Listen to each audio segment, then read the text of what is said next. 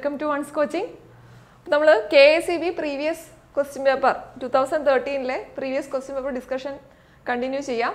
അതിന്റെ part four ആണെന്ന്.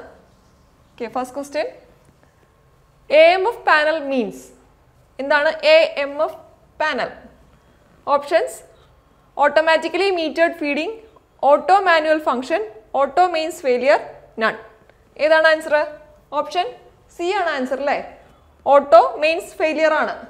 അല്ലേ? ഒരു പവർ ഫെയിലിയറിന്റെ സമയത്ത് സ്റ്റാൻഡ് ബൈ ജനറേറ്റർ ഓൺ ആകുന്നതിൽ അതിനൊക്കെയുള്ള ഒരു ഓട്ടോമാറ്റിക് ട്രാൻസ്ഫർ സ്വിച്ച് ആണ് ശരിക്കും ഇവിടെ മീൻ ചെയ്യുന്നത് എ എം എഫ് പാനൽ എന്ന് പറയുന്നത്. അതിന് ഓട്ടോമാറ്റിക് ട്രാൻസ്ഫർ സ്വിച്ച് എന്നുള്ളൊരു പേരും കൂടി ഉണ്ട്. Okay next question I S code practice for earthing is ഇതൊന്നും നമ്മൾ സിലബസിൽ പഠിക്കുന്ന കാര്യങ്ങളല്ല. പക്ഷേ ജനറൽ ആയിട്ട് ഒരു അവയർനെസ് വേണ്ട കാര്യങ്ങളാണ്. അപ്പം ഇങ്ങനത്തെ ക്വസ്റ്റ്യൻസ് പി എസ് സിക്ക് നമുക്ക് എക്സ്പെക്ട് ചെയ്യാം. അപ്പോൾ I S code Indian standard code for earthing ഇതിന്റെ ഓപ്ഷൻ ഡി ആണ് answer I S three zero four three ഇതുപോലെ വയറിങ്ങിന്റെ കുറച്ച് കാര്യങ്ങളൊക്കെ ഉണ്ട്. അതെല്ലാം നമുക്ക് ഡിസ്കസ് ചെയ്യാം. പ്രീവിയസ്ലി ചോദിച്ചിട്ടുള്ളതും ചോദിക്കാൻ സാധ്യതയുള്ളതും നമ്മൾ ക്ലാസ്സുകളിൽ ഡിസ്കസ് ചെയ്യുന്നതാണ്. Okay next question in circuit breaker the contact space is ionized by field emission from contact surface, thermal emission from contact surface, thermal ionization of gases, any of the above. Circuit ബ്രേക്കേഴ്സിൽ ionisation സംഭവിക്കുന്നത് എങ്ങനെയാണെന്നാണ് ചോദിക്കുന്നത് ഇപ്പം ഏതാണ് ഇതിന്റെ answer ഈ മൂന്ന് കേസുകളും വരാം. Field emission thermal emission thermal ionization of gases ഈ മൂന്ന് കേസിലും സർക്യൂട്ട് ബ്രേക്കേഴ്സ് ഓപ്പറേറ്റ് ചെയ്യുന്നത് നമ്മൾ പഠിച്ചിട്ടുണ്ട്. അപ്പോൾ ഇവിടെ answer any of the above ആയിരിക്കും. Okay next question the phenomenon of rise in voltage at receiving end of open circuited or lightly loaded line is called. Similar ആയിട്ടുള്ള സിമിലർ കൺസെപ്റ്റ് വരുന്ന ഒരു question നമ്മൾ ഡിസ്കസ് ചെയ്തിട്ടുണ്ട് എന്താ ഇവിടെ ചോദിക്കുന്നത് receiving end voltage greater ആകുന്ന അല്ലെങ്കിൽ സെൻഡിങ് എൻഡ് വോൾട്ടേജിനേക്കാൾ ഇൻപുട്ട് സൈഡിലെ വോൾട്ടേജിനേക്കാൾ സെൻഡിങ് എൻഡ് വോൾട്ടേജിനേക്കാൾ റിസീവിങ് എൻഡ് വോൾട്ടേജ് ഗ്രേറ്റർ ആകുന്ന ഒരു ഫീച്ചർ അല്ലെങ്കിൽ ഒരു ഫിനോമിനൻ ആ ഫിനോമിനൻ ഏതാണ് എന്നാണ് ചോദിക്കുന്നത്. Seebeck effect Ferranti effect Raman effect none of these ഏതാണ് ഫെറാൻഡി എഫക്റ്റ് ആണ്? നമ്മൾ ഡിസ്കസ് ചെയ്ത കാര്യമാണ് ഫെറാൻഡി എഫക്റ്റ് ഇല്ലേ? കപ്പാസിറ്റീവ് ലോഡ്സ് ഉള്ള കേസിലാണ് സംഭവിക്കുക. അതിന് വേണ്ട വേറൊരു കണ്ടീഷനാണ് ലൈറ്റ്ലി ലോഡഡ് ആയിരിക്കണം. ഇല്ലേ? കപ്പാസിറ്റർ വേണം ദെൻ ലൈറ്റ്ലി ലോഡഡ് ആവണം. അപ്പോൾ ഈ രണ്ട് കണ്ടീഷനും ഓർത്തിരിക്കുക. ഫെറാൻഡി എഫക്റ്റ് റിപ്പീറ്റഡ് ആയിട്ട് ചോദിച്ചിട്ടുള്ള ഒരു ക്വസ്റ്റ്യൻ ആണ്. Okay then next question the only advantage of corona is the only advantage of corona. ഏത് കൊറോണയാണ്? ഏ?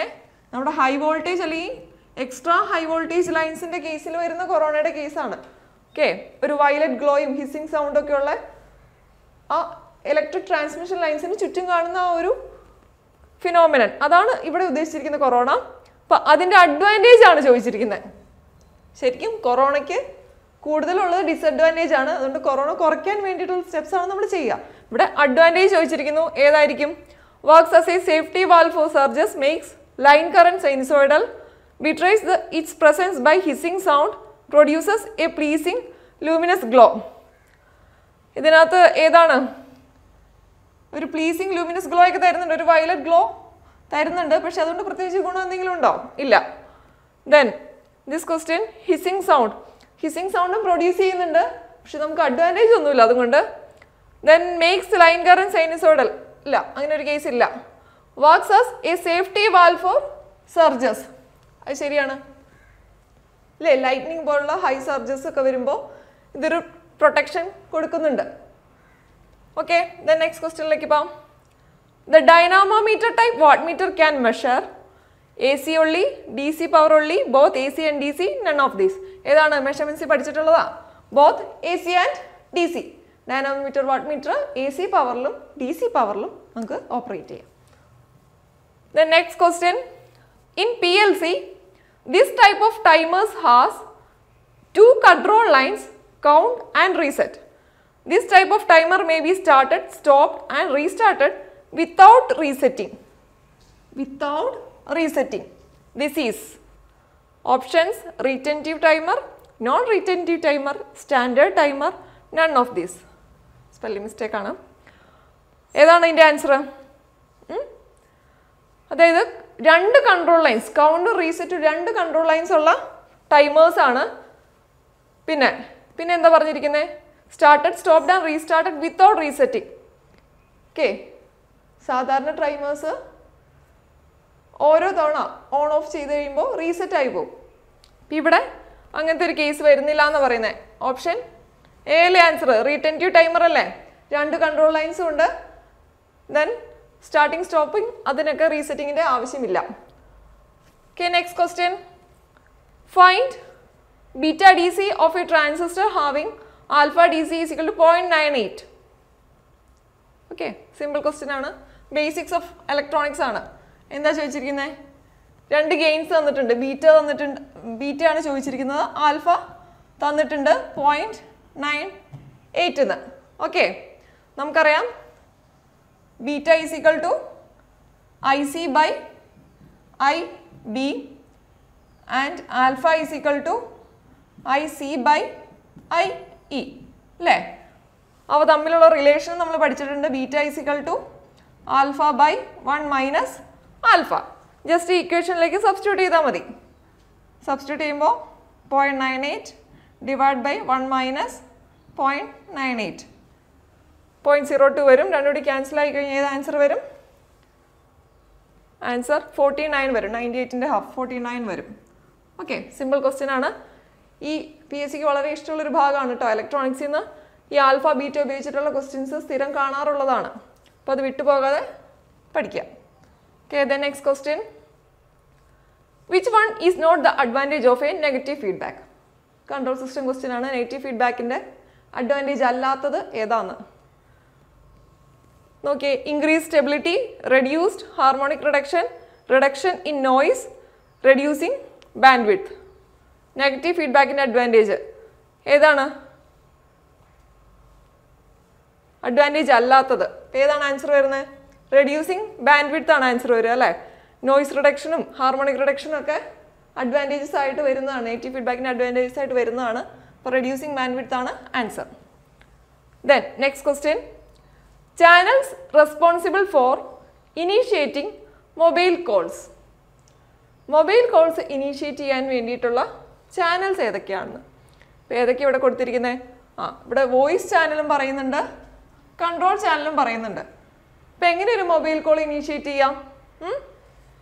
ഒരു മൊബൈൽ കോൾ ഇനീഷ്യേറ്റ് ചെയ്യുന്ന സ്റ്റെപ്സ് ഒന്ന് ആലോചിച്ച് നോക്കി. നമ്മളൊരു കോൾ ഇനീഷ്യേറ്റ് ചെയ്യുമ്പോൾ നമ്മുടെ നിയർ ബൈ ടവറിലേക്ക് ഒരു കൺട്രോൾ ചാനൽ വഴി ഒരു റിക്വസ്റ്റ് പോകുന്നു. ദെൻ ആ റിക്വസ്റ്റ് അവിടെ അക്സെപ്റ്റ് ആവുമോ ഇല്ലയോ എന്നുള്ളത് റിവേഴ്സ് കൺട്രോൾ ചാനൽ വഴി നമുക്ക് അക്നോളജിന് കിട്ടുന്നു. ഇനി അക്സെപ്റ്റ് ആയി കഴിഞ്ഞാൽ ഒരു വോയിസ് ചാനൽ പ്രൊവൈഡ് ചെയ്യുന്നു. ആ വോയിസ് ചാനലിൽ കൂടെ നമ്മൾ കോൾ സ്റ്റാർട്ട് ചെയ്യും. ഓക്കെ ഇപ്പോൾ ഇവിടെ ഓപ്ഷൻസ് വായിച്ചു നോക്കി ഏത് answer വരികയെന്ന് forward voice channel and forward control channel forward voice channel and reverse control channel forward control channel and reverse control channel forward control channel and reverse voice channel അതായത് initiating mobile calls എന്നാണ് ചോദിച്ചിട്ടുള്ളൂ. അപ്പോൾ ഏതാണ്? Control channel മാത്രം മതി. അല്ലേ initiate ചെയ്യാൻ forward control ചാനലും റിവേഴ്സ് കൺട്രോൾ ചാനലും മാത്രം മതി. ഇപ്പോൾ ആൻസർ ഓപ്ഷൻ സി വരും.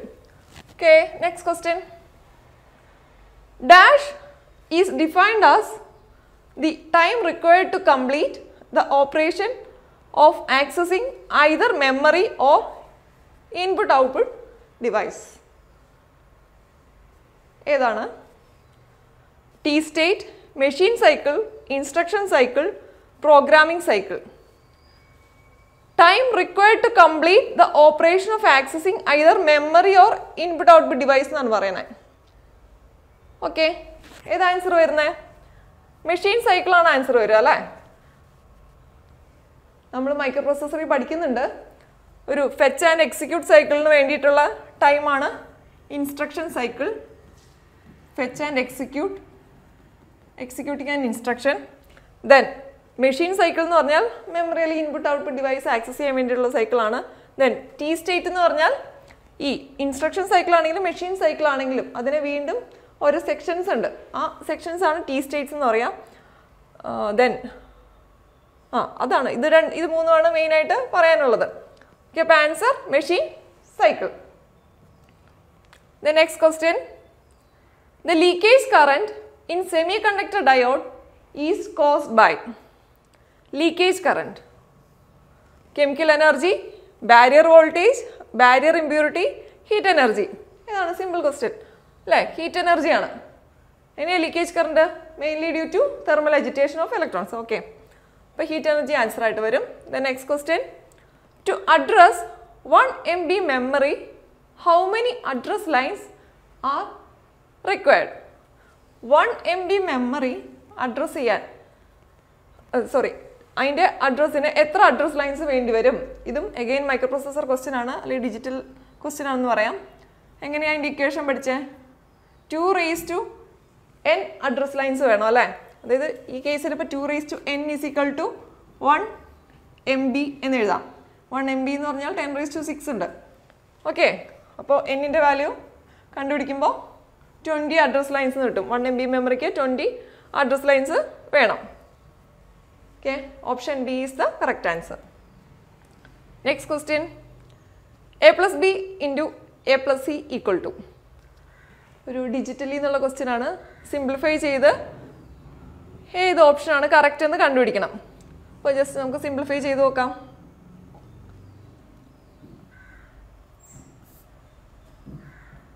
A plus B into A plus C അല്ലേ? അപ്പം ആദ്യം നമുക്ക് ബ്രാക്കറ്റ് ഓപ്പൺ ചെയ്യാം. A plus A C plus B A plus B C അല്ലേ ഉള്ളിലേക്ക് മൾട്ടിപ്ലൈ ചെയ്തെടുക്കുമ്പോൾ ഇങ്ങനെ വരും ഞി. ഇവിടെയോ? നെക്സ്റ്റ് ഇവിടെ എങ്ങനെ വരും? എ ഡോട്ട് എ എന്ന് പറയുന്നത് എ തന്നെ A plus A C plus B A plus B C എന്ന് എഴുതാം. ഇനി ഈ കേസിൽ ഇവിടെ എ പുറത്തേക്ക് എടുത്തു കഴിഞ്ഞാൽ one plus C plus B A plus B C ഇനി ഇനി എന്ത് ചെയ്യാം? വൺ പ്ലസ് സി എന്ന് പറഞ്ഞു കഴിഞ്ഞാൽ വൺ ആണ്. അപ്പോൾ ഇത് എ ആയിട്ട് റെഡ്യൂസ് ചെയ്യും. Then B A plus B C again ഇവിടെ എ കോമൺ എടുക്കാം. എ കോമൺ എടുത്തു കഴിഞ്ഞാൽ one plus B plus B C എന്ന് എഴുതാം.